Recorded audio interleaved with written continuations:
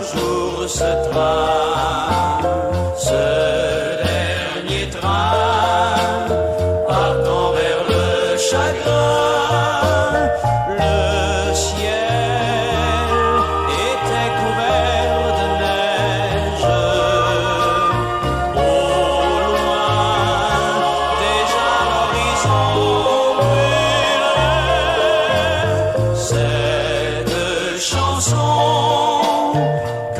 chanter les soldats.